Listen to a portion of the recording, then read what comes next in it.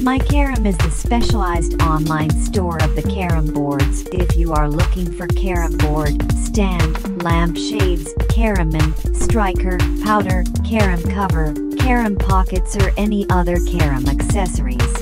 My Carom is the one-stop solution 100% original and genuine products you will get on my Karamazit website. If you have query or doubt call 8898757038.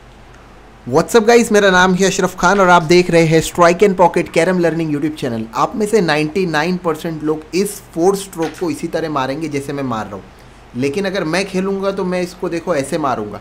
मैं ये black को मारूँगा और वो white difficult करूँगा। White देखो कहाँ पर आई। पहले हमारी जो वाइट थी वो सिर्फ़ पॉकेट के पास में थी। मतलब अपोनेंट के लिए बहुत आसान थी, लेकिन हमने उसको किस तरह मारा? हमने साइड में फ्रेम में स्ट्राइकर दबा के ज़ोर से मारा तो वो जो वाइट है, वो देखो कहाँ पे आई। अब ये कॉइन देखो, वही पीस वही स्ट्रोक वही फोर स्ट्रोक हमने स्ट्राइकर प्रॉपरली लगाया और एक दो वाइट के बीच में सेंटर में हमारी एक ब्लैक फंसी हुई थी, उस ब्लैक को भी हमने बड़ी आसानी से इजी कर लिया। इसका मतलब जो कॉइन आप सीधी मार रहे थे, उससे आप हार्ड भी कर सकते हो ओपोनेंट की, उससे आप अपनी इजी भी कर सकते हो। मतलब आप उसका बम भी बना सकते हो। आप ध्यान से देखना, इसमें जो वाइट जो हमारी हमने जिसको प्रेस किया था तो वो वहीं पे रुकी थी पॉकेट के रेंज में। अब लेकिन हम लोग क्या करेंगे, अगर थोड़ा और एडजस्ट करेंगे हम लोग प्रॉपरली तो देखो, वो वाइट भी हार्ड भी हो सकती है और हम चाहे अगर तो हम अपनी कॉइन्स को इजी भी कर सकते हैं सेंटर का गुच्छा भी फोड़ सकते हैं। देखो अभी, अब वो वाइट देखो कहाँ तक गई? अंदर आ गई।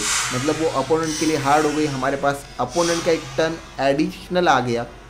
तो ये मैं आपको बताना चाहता हूँ तो इस तरह से आप फोर स्ट्रोक का इस्तेमाल कर सकते हो अपन उनकी कॉइन हार्ड करने के लिए और अपनी कॉइन्स को इजी करने के लिए और आप उसका बम भी बना सकते हो। और आने वाले वीडियो में, कल के वीडियो में मैं आपको फोर स्ट्रोक के कुछ और एडिशनल डिफेंसिव टेक्निक्स बताने वाला हूँ। तो जुड़े रहना हमारे चैनल के साथ में, क्योंकि कल भी आपको बहुत इंपॉर्टेंट लर्निंग मिलने वाली है। अब ये स्ट्रोक में हम जो ब्लॉक है हमारे पॉकेट पे, उसको ओपन कर रहे हैं। तो सिर्फ़ सेंटर में फंसी हुई कॉइन नहीं, आप ब्लॉक्स भी रिलीज़ कर सकते हो। बोलने का मकसद ये है कि आप इसका सिंपल बम बना सकते हो। बम मतलब जोकर जोकर चाहिए तो जोकर का मतलब ये होता है कहीं भी आप इसको इस्तेमाल कर सकते हो। तो जी हाँ दोस्तों, ये बहुत ज़्यादा काम का स्ट्रोक है। मैं आपको बहुत लिमिटेड एग्जाम्पल्स दे रहा हूँ वीडियो में। आप बहुत क्रिएटिव बन सकते हो, बहुत कुछ इससे कर सकते हो। और ऐसा पोजीशन जब भी आपके बोर्ड पे आ रहा है, तब आप, आपको अगर पता होगा इसको कैसे मारना है तब आप बहुत ज़्यादा क्रिएटिव प्लेयर बन सकते हो और पोजीशंस को बहुत अच्छे से सॉल्व कर सकते हो। तो ये है फोर स्ट्रोक दोस्तों।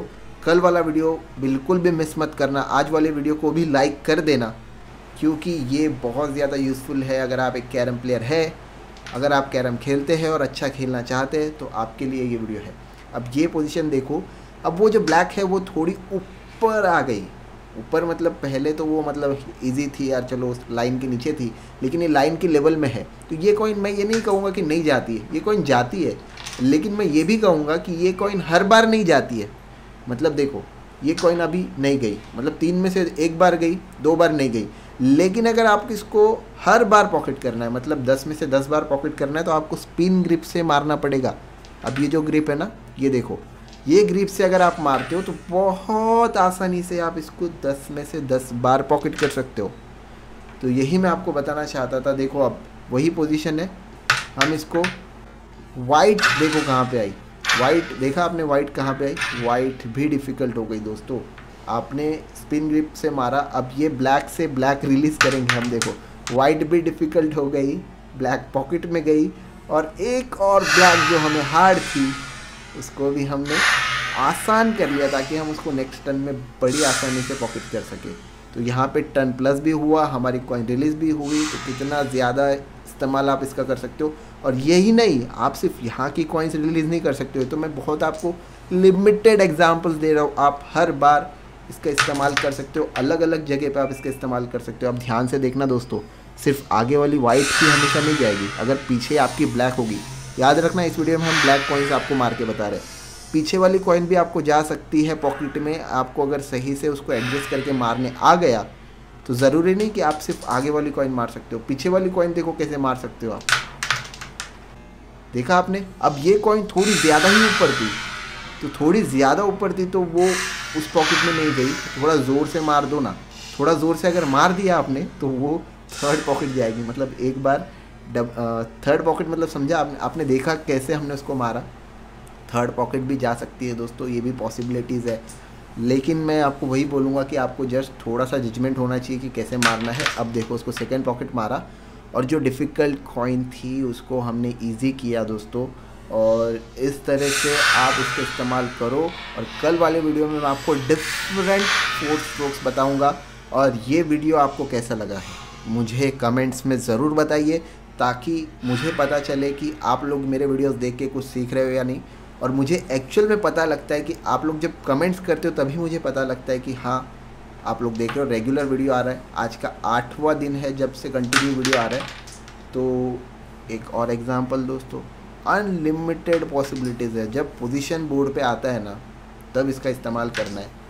और मैं पॉसिबिलिटीज़ तो आपको अनलिमिटेड बता सकता हूँ दिन भर बता सकता हूँ साल भर बता सकता हूँ, मैं कह, मैं बोल सकता हूँ आपको। अब ये देखो, ये सब स्ट्रोक्स तो मैंने आपको सिखाए हैं कि थम्बिंग का बम कैसे बनाना है।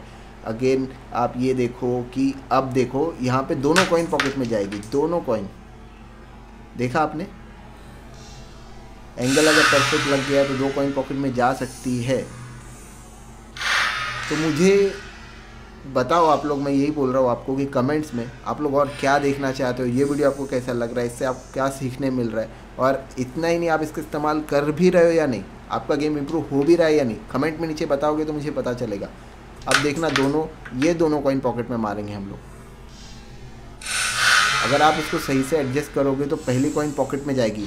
दूसरी कॉइन भी पॉकेट में जाएगी। आपको बस एडजस्टमेंट करना है, पहली कॉइन पॉकेट में मारने है अगर अपनी है तो पॉकेट में मारना है, अगर अपोनेंट की तो पॉकेट में नहीं मारना है। और दूसरी कॉइन को सेकेंड पॉकेट मारना है कि थर्ड पॉकेट मारना है, ये सिर्फ़ एडजस्टमेंट पे और वो जो पैर लगता है ना, उसका थोड़ा जजमेंट भी होना चाहिए। तो ये खैर लास्ट में एंगल स्ट्रोक इसके ऊपर मैंने आपको शॉर्ट वीडियो भी बना के बताया यूट्यूब शॉर्ट जो होता है, उसमें भी एक वीडियो बनाया था मैंने इसके ऊपर और एक पूरा ट्यूटोरियल भी मैंने इसके ऊपर बनाया था। तो मुझे पूरी उम्मीद है आपको ये आज का वीडियो अच्छा लगा होगा। लाइक शेयर कर देना कमेंट में मुझे बताना कि कैसा लगा है। उसके अलावा चैनल को सब्सक्राइब करके बेल आइकन को प्रेस कर देना, क्योंकि हम आप लोगों के लिए कैरम लर्निंग वीडियोस लेके आते रहते हैं। और सब्सक्राइब करने के बाद बेल आइकन प्रेस नहीं करोगे तो आपको नोटिफिकेशन नहीं आएगा। सब्सक्राइब भी कर दो बेल आइकन को भी प्रेस कर दो। Thank you so much